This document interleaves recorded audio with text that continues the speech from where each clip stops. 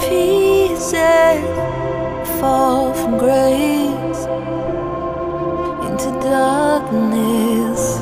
Your heart was graced, and I could feel you. Come.